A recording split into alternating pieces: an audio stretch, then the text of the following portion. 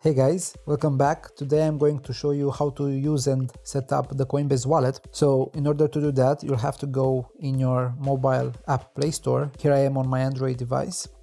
So if you go into the App Store and search for Coinbase, you will see multiple applications related to Coinbase. First, you'll see the main application called Coinbase Buy and Sell Bitcoin, this one, crypto wallet but this is not actually a crypto wallet. This is the application where you can buy and sell bitcoin like it says in the title but you don't want to store the coins there.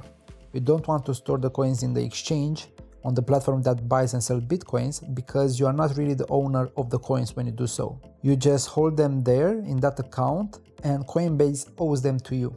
This means that in case Coinbase is hacked or if uh, suddenly Bitcoin or cryptocurrency is banned in your country, Coinbase can shut down your account and can lock access to your coins. But fortunately, they offer this wallet here down below Coinbase Wallet, Crypto Wallet, and dApp Browser. This is the actual wallet where you can store your coins and you are the owner of the coins. Once you send funds to this wallet, you are the real owner of the coins. And if you want to choose and move the coins from this wallet to another, you'll be able to do so easily. So in case something happens with Coinbase, you'll come into this application, the Coinbase wallet, and you'll be able to freely move your coins out of it. So that's the difference between the two. Coinbase is the application where you buy and sell Bitcoin. Coinbase wallet is the place where you should store your crypto. And by the way, even a mobile app, it's uh, not the safest way to hold Bitcoin and cryptocurrency. The safest way to hold cryptocurrency is in a hardware wallet. But for easy access to your coins, a mobile app can be perfect to get to know uh, the system, to be able to have coins readily available when you need to.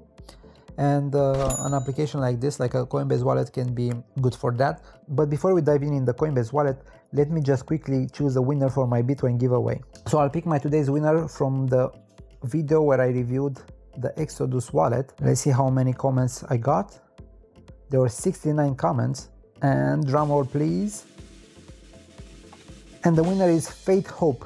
Congrats, Faith. You said, for me, that is the best Bitcoin wallet. I'm glad you think so. Congratulations on your $10 worth of Bitcoin. I'll contact you so you can leave your uh, Bitcoin address where I can send the funds to. If you didn't know, you can easily win $10 worth of Bitcoin. If you like this video, leave a comment below, but be sure in the comment to have the word crypto grubber otherwise you won't be eligible for this giveaway. Let's go back and check out the Coinbase wallet. So I'm going to install it and see what this app is about and how we set it up. By the way, I wouldn't keep in this um, mobile wallet, in any mobile wallet for that matter, more money that I would keep in my pocket. For example, if I'm not going to keep $100,000 in my pocket, I'm not going to keep 10 bitcoins in uh, this Coinbase wallet. If you have the 12 word recovery phrase from another wallet, you can easily switch from that wallet to the Coinbase wallet or apparently you can restore from Drive. That's the first time I, I'm seeing this it's not very common in the space, but I guess it's an option. The most important part is whenever you create a wallet is to back up this 12 word recovery phrase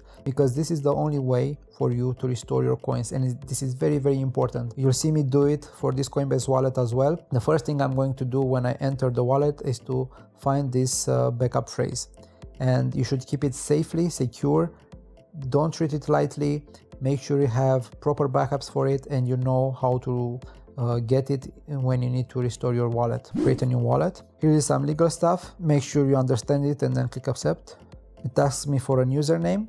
Uh, in case we both use um, this Coinbase wallet, it will be easy for us to transfer crypto from one another only by this username without us knowing the full uh, cryptocurrency address that is just a combination of letters and numbers it's a long string of characters we don't need to know those addresses we can use this username instead so i'm going to choose crypto grubber I prefer it to be private, so it appears that some other people can search for my name for CryptoGrubber and send me coins if they want to. But I don't like that. I uh, like to keep my uh, wallet private, so I'll just click on private. And then I have to choose a way to protect my wallet either fingerprint or create a pin. I'm going to use the fingerprint for this. So here we are in our wallet. The first thing I'm doing for every wallet that I'm testing out or for every wallet that I'm using, I need to go and create uh, the backup to find my seed phrase. So I'm going down here in settings and uh, click on recovery phrase. Right now I have my recovery phrase here. I'm going to take a pen and paper and write them down. I'll make sure that I know how to access this backup phrase in order to restore if ever I will need to, to do that. As I said before, here I have the option to back up to my Google Drive. I'm not keen on saving my uh, recovery phrase digitally because uh, that digital data can be uh, hacked, uh, it can be corrupted. So I don't make that my first backup option. But in case of Coinbase, it seems that they encrypt this information. And if you want to save it on cloud, on Google Drive in my case, probably if you are on an Apple device, you'll be able to save it on iCloud. You can do so, but you have to set up a password for that. But again, I'm not going to make this my first backup. This can be a secondary backup. Let's see what happens if I click on send. I have two options to send from my Coinbase account or from another wallet. Let's select first from another wallet. And this is actually the wallet that I'm holding right now, the Coinbase wallet. It seems that it has uh, support for a lot, a lot of coins, many coins that are available right here. But let's go back and select uh, Bitcoin. I'm not sure why this screen showed up because I selected to send Bitcoin, not to receive. Probably because it knows I have no funds in my wallet. It redirected me automatically to receive some uh, coins first. So I have two options of addresses. The Segwit address, it's a faster and a cheaper address compared to the legacy one. If I click on legacy, you'll be able to see it here. Usually the Segwit address, you'll be able to recognize it by um, the characters that starts with, which is BC1 and if I go to legacy you'll see it starts with uh, with a 1. Before I send some funds here let's see the dApps tab. It says explore the decentralized web. dApps are decentralized apps or applications that are powered by decentralized protocols. I'm not going to dive uh, big into this. You can come here and explore the, the options that you have. But basically it's just an browser that gives you access to the most popular applications that are built on a blockchain, on the Ethereum blockchain. And going into settings, let's see if I click on my username, it tells me if I'm public or private. I don't see any option to change my username from here. Going back, we checked the recovery phrase before. If I choose app lock, I can choose the lock method of my application and I can enable fingerprint authentication to open the application and also for transactions. I can connect to Coinbase if I want to, but uh, for me this is a privacy concern. Uh, if I do so, then Coinbase will know everything that happens with my wallet, so my wallet will not be uh, private anymore. Coinbase will have access to my wallet to see what kind of funds I have in it. So I prefer to keep my my wallet private and not connected to Coinbase, but probably this will give me extra uh, functionality in the application. Okay, so here I'm in my Coinbase account. I uh, transferred $10 worth of Bitcoin. And if I go back to my crypto wallet, I'll use uh, the maximum amount and I'll click on continue. So I'm not able to choose the fee that I'm willing to pay, but uh, it's not that bad, 12 cents is uh, just fine. So I'll just choose to transfer to the wallet. It appears that because I have two-factor out authentication in my Coinbase account, I have to enter the code. It's very unfortunate because I cannot paste it in, so I have to write it down and transfer was initiated. It can take a few minutes for the transfer to complete. In a few moments it should appear here at least that uh, it's pending that the funds are coming. But until then, let's just check the other settings. So we have advanced settings, active wallet. It appears that I can have up to 10 wallets in this um, application and then I can choose the active network. If you are a developer and if you want to test the, the network, you can do so. But for beginner normal users, you won't need to, to go in, into that section. I can check the version and change the currency. So the coins are not in my wallet yet because it can take a, a, bit, at least 10 minutes to, to show up in your wallet. That's normal for every Bitcoin transaction. And because this wallet it's an external wallet. Even though it's tied with Coinbase, it's still an external wallet that you hold. You own the private keys, you are the owner of the coin. So that means it will take time to, to get into the, your wallet just like you transferred funds from Coinbase to another external wallet. It didn't take that long to receive the coins in this wallet. So far I'm impressed on how fast the coins were available in, in the wallet. Another option that appear here is to earn interest on your crypto. And click on that. Earn interest on your crypto. Earn interest by lending out your crypto with smart contracts. These contracts are blockchain based applications that accept your crypto and lend it to the borrowers who pay interest.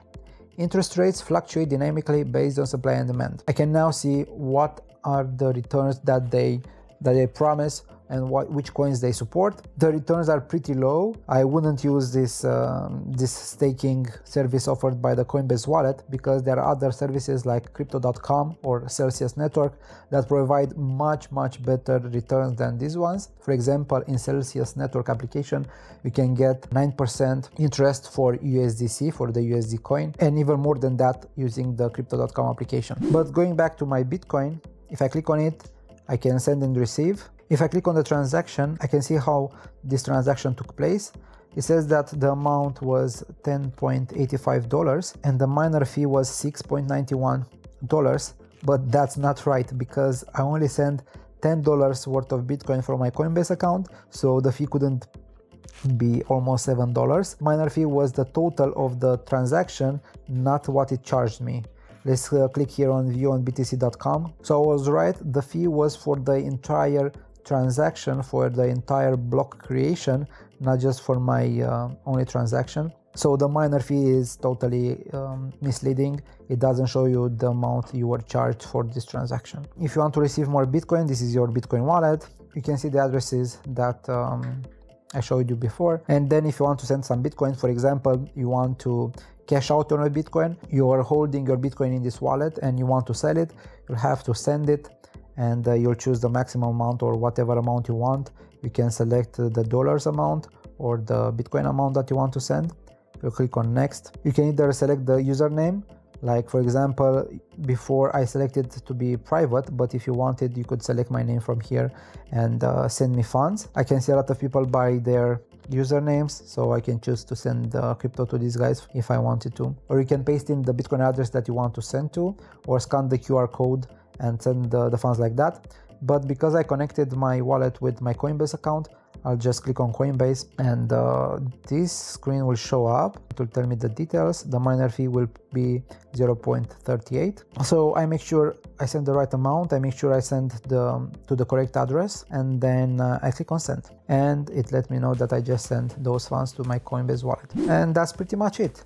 It's a basic wallet doing the basic things that you'll need. It looks like a good wallet for me. The problem with it is that it's not open source, so you don't know how legit the code behind the wallet is. So you have to trust Coinbase that they have good intentions to create a safe and secure wallet. Other than that, uh, I don't like that you are not prompted with the recovery phrase right away in order to back it up and be sure that you have access to the backup phrase in order to restore it whenever you need to. And I would love to see more wallets that have the ability to change the transaction fee within the wallet, but that's not the standard. It's just one thing that I would like to see. For beginners at least, that's not a big issue because uh, you want your transaction to be uh, confirmed and processed right away.